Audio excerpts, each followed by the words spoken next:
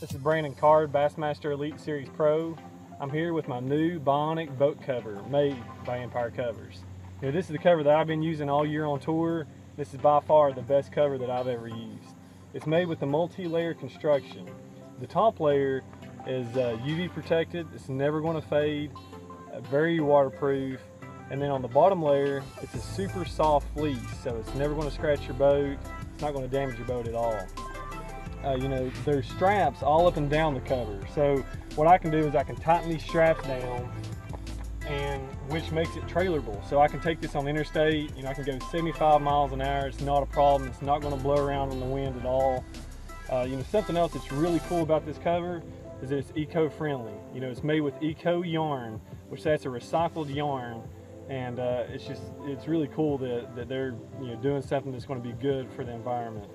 So this is my Bionic cover, and check them out at empirecovers.com.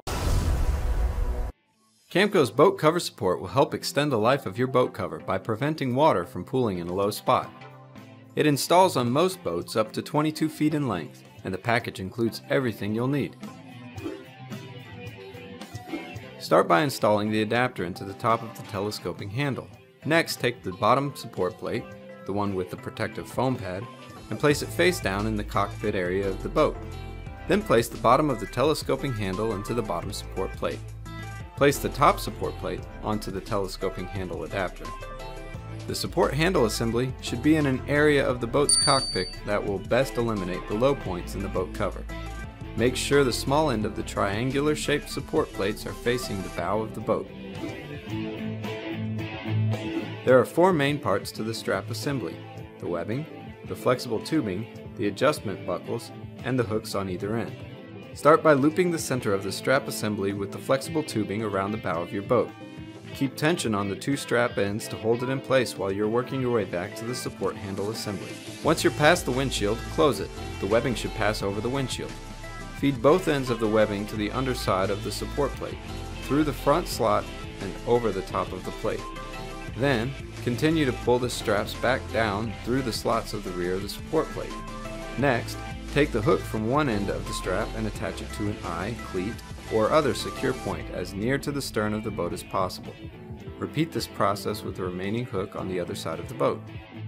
With the strap assembly in place, extend the support handle to the desired height and then remove all slack from the webbing using the adjustment buckles. Now you are ready to install your boat cover. Thanks for watching. But wait, there's more! Camco's boat cover support is handy not only for supporting your boat cover in the off season, but in the boating season as well. Included in the package of your boat cover support kit is a boat hook attachment. Simply remove the support plate adapter from the telescoping handle and the boat hook attachment fits in its place. We offer four brush head attachments. Extra soft, soft, medium, and stiff. A wash head with microfiber pad, a mop head, a squeegee, a paddle blade, a fishing gaff, and a landing net.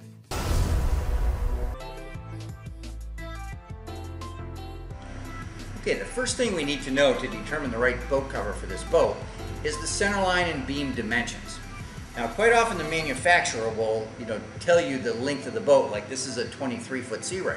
Well, you can't necessarily go by that. You want to take a dimension. So what you need is a tape measure, obviously longer than the long than the length of your boat. Start in the bow, and with a, with a helper, pick a point. It's the farthest point on the bow. And you want to measure back towards the stern. Now you want to measure at a horizontal plane. So you don't want to go up and over windshields or tops or anything like that. You want a horizontal dimension straight through the boat all the way to the farthest point on the stern. Now for this boat, we're at 22 feet 8 inches. So that would be the centerline measurement that we're going to use to choose our boat cover. The next dimension you need is the beam width of your boat. Now, very often the manufacturers will specify a beam width.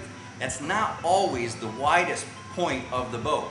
So what you want to do is look at your hull style and take a dimension across the boat from port to starboard at the widest point of your boat. Again, I got a helper over here. I'm going to hold the tape measure at the widest point and it looks like 102 inches for this boat.